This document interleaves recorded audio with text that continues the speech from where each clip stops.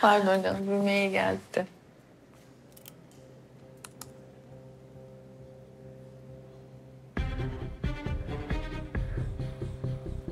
Aa ne oldu? Görev yeri değişikliği diyor. Ne? İstanbul Adliyesi 4. Ticaret Mahkemesi'ne atanmışım. Aa ne diyorsun Güzide? Ne ticaret mahkemesi? Evet. Allah Allah. Bir dakika, affedersin. Tamam. Alo. Bülent Bey, Efendim Güzide rahatsız ediyorum. Bir şey soracağım. Buyurun. Ee, bana bir mail geldi de yanlışlıkla mı geldi acaba? Ee, ticaret mahkemesine tayin edildiğimi yazıyor. Bir yanlışlık yok Güzide Hanım. Ticaret mahkemesine atandınız. Nasıl olur ama yani neden öyle bir şey oldu? Kurulun kararı bu yönde Güzide Hanım. Yeni göreviniz hayırlı olsun. Teşekkür ederim. Rica ederim iyi günler. İyi günler. Gel Sevil. Size bir dosya geldi Hakim Hanım. Sağ ol canım.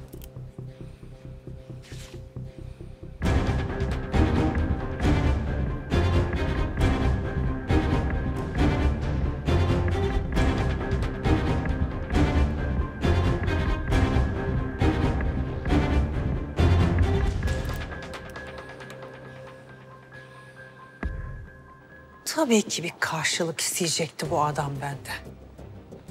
Tabii ki isteyecekti. Asıl ben ondan yardım istememeliydim. Benim hatam. Benim hatam. Güzide. Oğlum hapse girecekti ama. Keşke girseydi. Keşke girseydi de dünyanın kaç bucak olduğunu görseydi. Keşke ben de o hakime hakaret ettim diye içeri alınsaydım. Vallahi men edilseydim meslekten ya. Hiç olmazsa onurumla yaşardım. Adam binlerce kişiye hisse satmış. Ondan sonra da şirketin içini boşaltmış. Bir iflas vermiş öyle yalandan paraların üstüne konmuş. 200 milyon dolar. Ya Binlerce kişinin hakkını yemiş. Şimdi bana diyor ki mahkemede benim tarafımda olacaksın. Bir de sen yiyeceksin o insanların hakkını. Ne yapacaksın Güzide? Yapmayacağım. Yapmayacağım. Yani katiyen yapamam yap. Yapamam zaten yani. Yapmayacağım.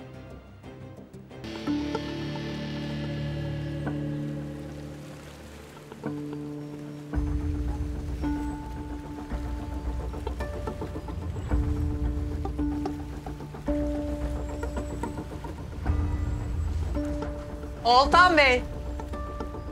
Buyurun Haşim Hanım. Ol...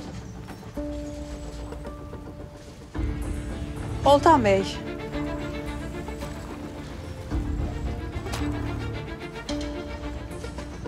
Bize yaptığınız iyiliklerin karşılığını bir gün isteyeceğinizi biliyordum. Neler olabileceğini de aslında tahmin etmiştim ama bu kadar büyük bir talep açıkçası beklemiyordum. 22.857 kişinin hakkını yemişsiniz. Paralarına çökmüşsünüz. Şimdi de benim ve mahkemenin aracılığıyla bir kez daha haklarını yemek istiyorsunuz. Ben davayı kabul etmeyeceğim. Onu söylemeye geldim. Altan amca. Katil oldum.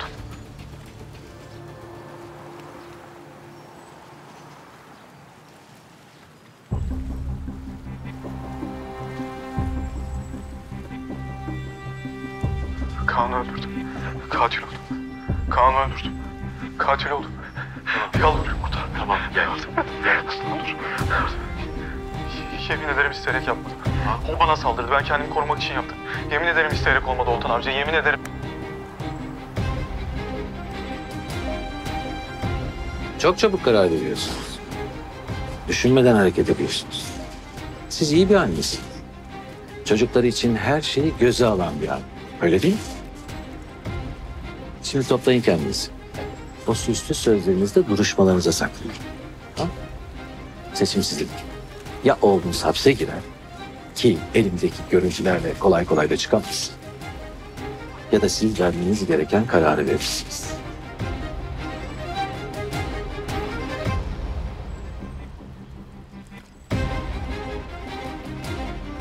Tarık'a bir milyon dolar emanet ettim. Ozan'ın evinde saklamış. Ozan da benim bir milyon dolarımla kripto para almış. Ama dolandırılmış. Bıçakladığı kişi Ozan'ı dolandırmış. Kendi aradı. Oltan amca yardım et dedi. Üngür üngür ağlıyordu. Cesedi ortadan kaldırdım. Bütün izleri sildirdim. Seçim sizin. Ya oğlunuz hapse girer ki elimde bu görüntüler varken kolay kolay da çıkamaz. Ya da siz vermeniz gereken kararı verirsiniz. Tarık, seninle bir konuyla ilgili konuşabilir miyiz? Yemediler, içmediler, sana yetiştirdiler değil mi? Neyi?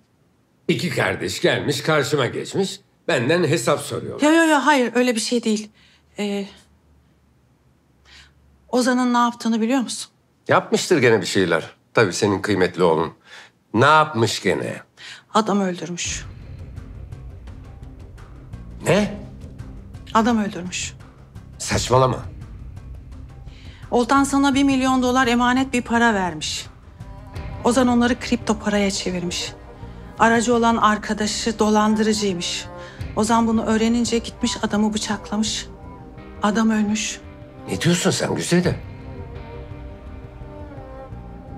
Ozan'la konuştun mu sen? Hayır yani e, daha doğrusu aradım ama cevap vermedi. Nereden öğrendin peki? Oltan söyledi. O nereden biliyormuş? Bu işi örtbas eden Oltan. İyi güzel işte örtbas etmiş. Kolundan tutup polise mi götürseymiş yani? Ya sen ne diyorsun? Oltan bir karşılığı olmadan iş yapar mı? Adam şimdi beni tehdit ediyor. Elinde bir video var. Ne?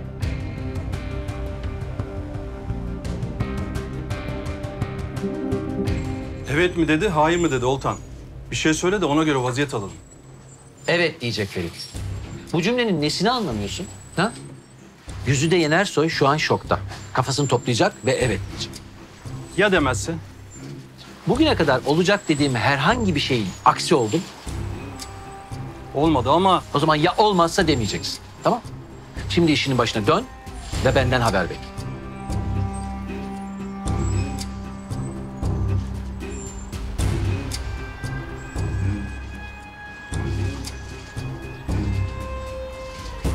Demek ki bir milyon doları Ozan'a ödememiş. Bir de bana yalan söylüyor. Kriptodan 100 bin dolar kazandım dedi.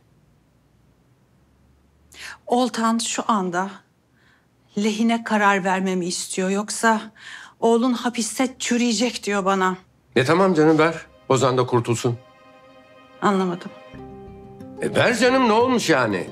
Temizden döner nasılsa. Ya sen ne diyorsun? 22 bin küsur kişinin hakkını yemiş bu adam. 200 milyon doların üstüne oturmuş bu adam. Sana ne? Bana mı ne? Evet sana ne? Ver kararını. Ozan kurtulsun işte. Ya sen adamın tehditlerine boyun eğ mi diyorsun bana? Ya oğlunu kurtar diyorum sana Güzide. Ben hakimim Tarık, ben hakimim. Adaleti sağlarım ben. Bu adam haklı bile olsa onun söylediği gibi hareket etmem ben. E ne olacak o zaman? Niye geldin sen buraya? Sen babasısın ya Ozan'ın. O sebeple geldim. Git şu adamla konuş. Kaç para istiyorsa da ver, o videoyu elinden al. Hayır yapmayacağım, yapmayacağım, yapmayacağım. Ozan'a bir kuruş dahi bir para ödemeyeceğim. Ne Ozan'a ne oyluma. Anlamadım. Sen yap kurtar. Lehinde karar ver. Kurtulsun işte. Bir dakika, bir dakika dur sen. Sen Ozan için bir kuruş bile ödemem mi dedin? Anlamıyorsun beni Güzide, anlamıyorsun. Benim sizin gibi bir ailem yok. Siz bana savaş açtınız. Bundan sonra ne sen ne çocukların umurundasınız tamam mı?